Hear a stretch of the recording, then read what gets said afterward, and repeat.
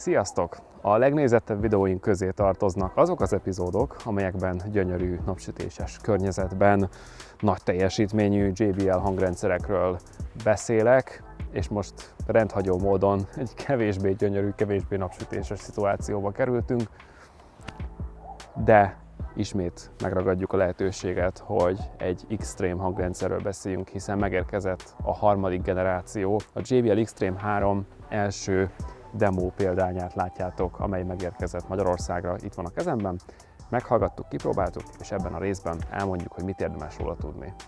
Ami említendő változás az előthöz, az Extreme 2-höz képest, amit elhoztunk nektek a vizuális összehasonlítás erjéig, hogy egyrészt jóval nagyobb lett a logó az újabb modellen, viszont egyúttal dizájnosabb is talán, mint ez a korábbi ilyen kis vöröses narancssárgás embléma. Megváltozott a színe az oldalsó passzív hangszóróknak, illetve most már mindkét hangszórón felkiáltójá van a harmadik generáció, nem mintha ez bármit számítana. Ami egyébként érdekes, hogy érezhetően kicsit nehezebb az Extreme 2, körülbelül 40 dekával lett könnyebb az Extreme 3 úgy, hogy az akkumulátor üzemideje, ami egyébként körülbelül 15 óra lehet a hangerőtől és a zenetípusától függően, illetve a teljesítménye, ami a négy hangszóróra nézve 4x25 watt nem lett számottevően, illetve egyáltalán rosszabb. A korábbi laptop töltő kinézetű és nagyságú adapterhez képest itt már egy jóval kisebb adaptert kapunk hozzá, illetve a töltés USB-C ajzattal lehetséges. Viszont ugyanúgy nálunk kell, hogy legyen az ő hozzácsomagolt töltő, az a kis masszív briket, mert hogy csak azzal lehet tölteni őt, független attól, hogy USB-C ajzat szolgál a töltésére. Egyéb iránt még továbbra is rendelkezésre áll egy 3,5-es jack bemenet és egy USB-A ajzat, amire rá tudunk csatlakoztatni telefont vagy tabletet, ami egy jópofa szolgáltatás, hogy tölteni tudjuk a telefonunkat, forráskészülékünket, a közben, hogy éppen lejátszuk róluk a zenét.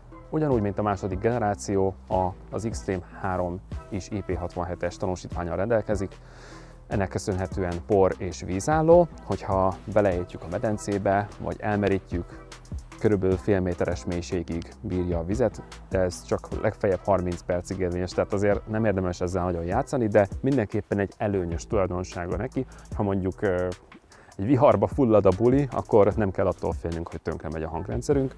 És ugyanúgy megőrizte az Extreme 2 azon praktikus részletét, amely ez a tetején lévő fém fülecske. Kapunk is a csomagolás részeként egy táskaszerű pántot, amit ide be tudunk fűzni, és akkor oldaltáska, oldaltáskaként tudjuk magunkkal vinni az Extreme 3-unkat.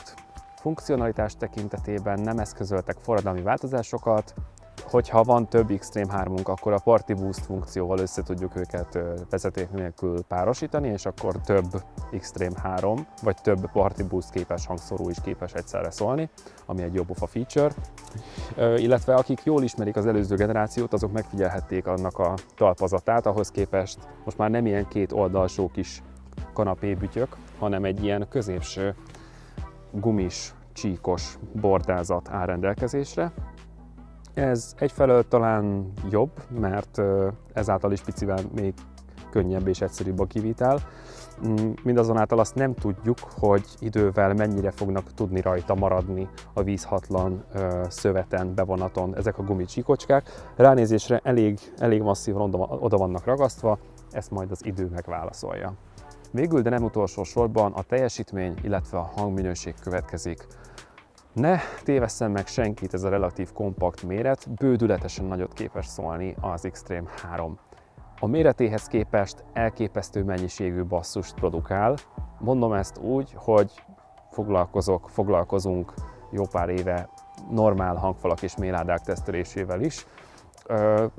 Közel egy hifi rendszer szintjét megközelíti az a szintű energia, masszív basszus mennyiség, ami kijön ebből a alig nagyobb, mint rögbilabda nagyságú eszközből. Olyannyira sok a basszus, hogy néha már túl sok. Tehát mondjuk egy 15-20 négyzetméteres szobába, hogyha az ő számára kedvezőtlen pontra, tehát például sarokba, polcra, szögletes, szűkös helyre tesszük le, akkor túlságosan sok lesz a basszus, és kifejezetten idegesítővé válik. Ami nem annyira jó, főleg úgy, hogy az applikáció, amiből őt lehet például frissíteni, jelenleg még elkúzást sem tehez lehetővé, pedig jó lenne egy olyan funkció, hogy mondjuk visszafogjuk az ő basszusait. Elképzelhető, hogy idővel ez majd bekerül a repertoárba, most még a demo darab ezt nem tudja. Persze a sok basszus az a modern stílusok kedvelőjének általában egy alapkritérium, eleve igénylik sokan a masszív dögös basszust, úgyhogy ők nem fognak bánkódni emiatt. Ha megtaláljuk a számára optimális helyet egy szobában, akkor igen, csak kiadós, masszív háttérzenei aláfestést tud nyújtani akár egy 5-10 fős házi buli során is, illetve az a korábban említett basszus többlet egy nyílt, szabad, szellős környezetben, ami ehhez hasonló, egy tengerparti bulin, egy kempingezés során jelentéktelenné válik, hiszen kültéren pont az lesz a jó, hogy ő olyan jó sok basszussal rendelkezik, egy szabad, szobakusztika nélküli környezetben az nem lesz túl sok, hanem majd pont elegendőnek fogják érezni. Érezni azt, hogy a JBL nem kevés figyelmet szentelt digitális jelfeldolgozásnak, ez egyfelől nagyon jó, mert kis terhelésen is nagyon gazdag és nagyon dinamikus és nagyon figyelemfelhívó lesz az a hang, ami kijön belőle. Másfelől akusztikus, hangszeres, szimfonikus, tehát bármilyen élő hangszeres stílusnál ez azért erősen megmutatja az árnyoldalát is. Tehát például, hogyha ilyen Miles Davis, Chris Botti vagy Marcus Miller ilyesmi zenéket elindítunk, akkor a plaszticitás, az a viaszos, mesterkélt jelleg, elég érzékelhető, minél jobban terheljük a hangrendszert, annál inkább. Tehát például egy Miles Davis hallgathatatlanul rossz rajta, mert annyira digitális, annyira ö, természetellenes és visítozó az, ahogy egy ö, jó, persze érces karakterű trombitát próbál ő megjelenni. A lényeg a lényeg, hogy tudni kell őt a helyén kezelni, ő szórakozásra, divatos műfajok hallgatására van elsősorban optimalizálva. Hogyha valaki jazz és ilyen kis lightos, ilyen kis életszerű nótákat akar hallgatni, akkor neki a kétszer-háromszor drágább bifa és hasonló hangrendszerek fognak majd megoldást nyújtani.